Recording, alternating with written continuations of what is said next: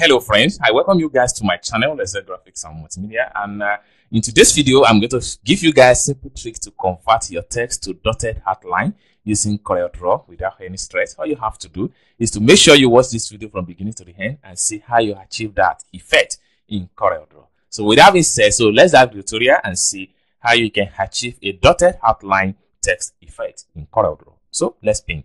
First of all, you have to go to your type tool Then having selected your type tools, then you have to come to the workspace and make a type. So you can make sure you can you can increase the font size by come to the home tab here and type in whatever figure of your choice. So I'm taking this to 100%, enter key on your keyboard. So you're going to have stuff like this. If you are not satisfied with the font size, you can still go back and type in, let's say 200% okay you can make it bold. And you can come here to change the font style and the like so i'm going to press p to centralize. Now for you to convert this particular text into dotted outline how do you achieve that? So next thing you have to do is to go to the home tab right here. Go to bitmap. Then make sure you choose convert to bitmap. Then make sure you leave everything anti-interlacing and transparent background check and make sure this is to be 300 resolution and click on OK. So once you are able to convert the text, the next thing you have to do is to still go back to the bitmap. Then from bitmap, you have to look for uh, center line tracing. So from center line tracing, you have to look for outline drawing you click on that. So after click on outline drawing, pay, uh, it's take you right here. So here, just leave everything the way it is right here. Okay. So one, uh, once you are done, then you just click on OK.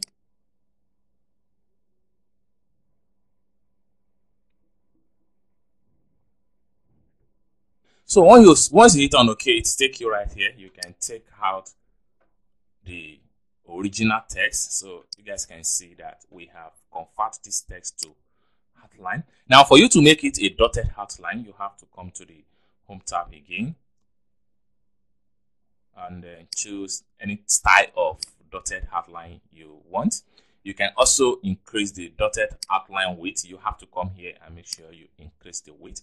So if the 8 dotted is not okay, you can make it 10 and etc. You can also give it a color. For you to do that, you have to come to the color palette right here. Right click on the color palette. You're going to have what we have right here. Or you can as well make it black. Everything depends on your choice. So one more thing before we round up today's tutorial, you can also make it in a sentence. Let's say you write in love in love and uh, you make it large. Okay? And uh, next thing is to go to bitmap and then convert to bitmap. Then make sure everything lifts out. And click on ok. Boom. So next step you have to take is to go back to bitmap again and then go to center line trace. And then you have to look for line drawing. You click on that.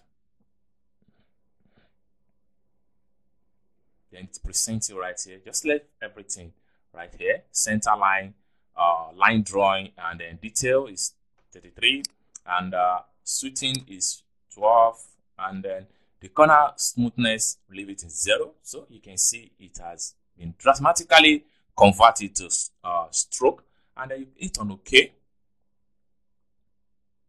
Similarly, you hit on OK, you can take out the stroke, simple as that. So you can have, you can make sure you can apply different uh, effects of your choice to this.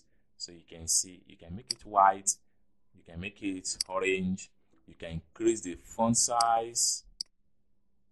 So you can make use of uh, shape tools and uh, work on the shape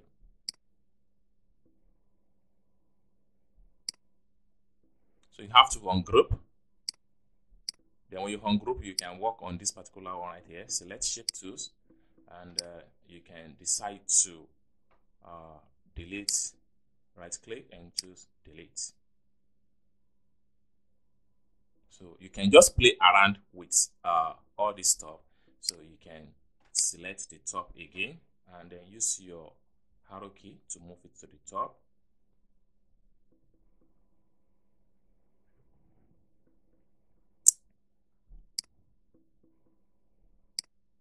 okay. So you can select it and uh, move it to the top. And you can double click this. Uh, you can double click this. So you can walk around and play around with all this shape right here. You are good to go. You can make sure you can change the dots.